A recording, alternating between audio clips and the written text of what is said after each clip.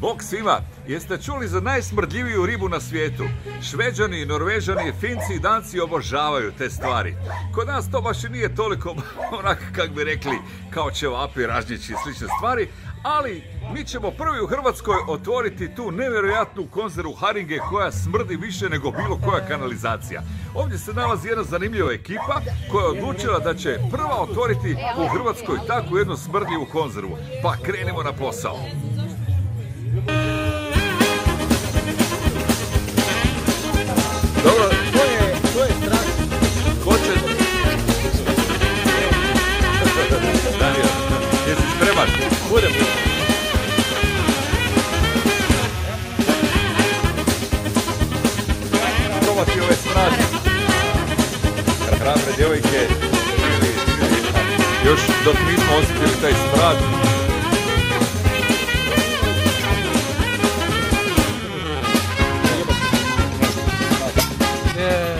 riba smrdi od repa.